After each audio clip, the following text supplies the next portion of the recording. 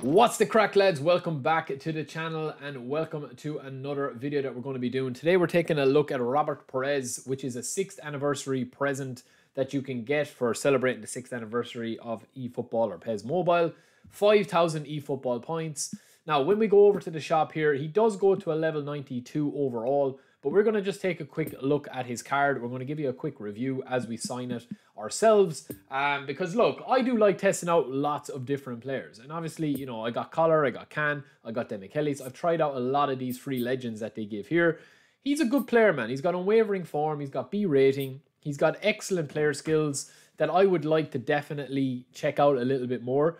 He's not going to be the fastest player that you get. He's definitely not going to be the fastest winger that you get because he is tied because he's only got nine levels to go. And the big, big thing on this card is the fact that he does not have 90 team playstyle proficiency in all five playstyles. So you can see there that he is more suited to long ball and out wide uh, formations, which is fine for me because that's usually what I play.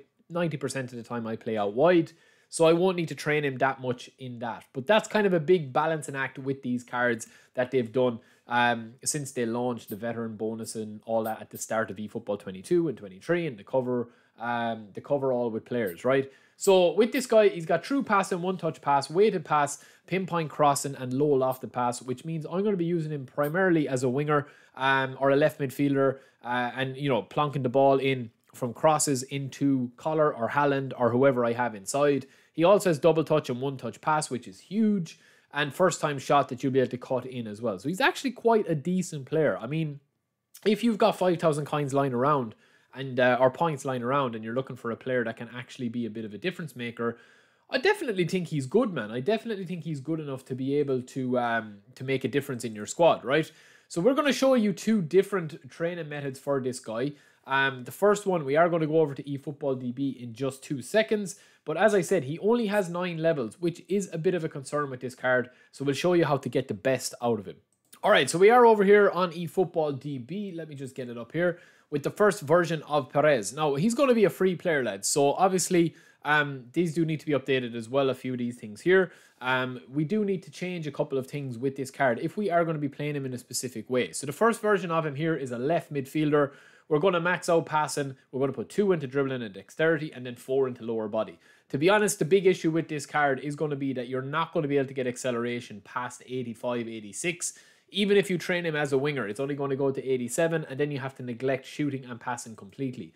So this is more of a guy, a player that you're going to be using as a bit of a kind of a workman-like um, left midfielder that's able to track back a little bit and is able to obviously pass the ball in as well. 82 lofted pass with the rest of the passing skills that he does have are going to be quite nice. Um, but I definitely do think that he's probably not going to be, you know, one of these overpowered players, right? A lot of people will probably buy him and think, yeah, I mean, he will get, he will be good if you've got an early start team. Um, but I definitely think that there are a lot of better players out there than him. I mean, you're really only buying him here realistically. Um, just because he's a free legend and his form is the big one. That's probably the big one, the form and the unwavering form here. And then obviously that you know that you're going to be able to play him. Now, the big issue here is obviously the team play style as well as the pace, right? So we are going to have to take maybe one of them away um, to be able to give ourselves two into whatever formation that we want to play. If we want to play long ball, we can get him up to 95. So you are kind of, your hands are tied in how you can do that. You have to do that with that card if you want to make him part of your squad, in my opinion. And it's kind of a waste. I would probably just pop one into that and then probably have one more into, um, you know, I would probably take one more out of the lower body.